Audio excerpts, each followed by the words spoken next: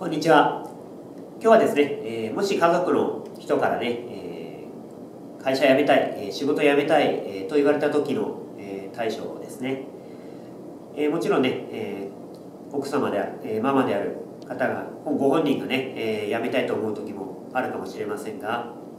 えこれ大体3つ理由があると言われています、え1つがですね、え通勤距離が遠い、えもう時間かかっちゃってしょうがない。えー、っていうのと、えー、あともう一個が仕事の内容ですね、えー、どうしてもちょっと内容にね、えー、満足ができない、えー、そして3つ目が、えー、人間関係職場のね人間関係がうまくいかない、えー、という3つがあるんでそのご主人とかね、えーまあ、あとは家族の方がね辞めたいって言ってきたら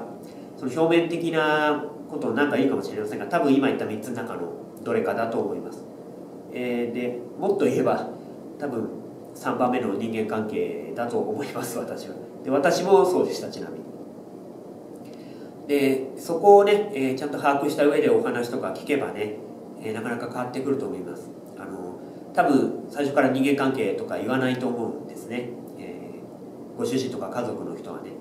え、多分他のもっとなんかこう表面的なことを言ってくると思いますが多分根本はそこにあると思いますんで、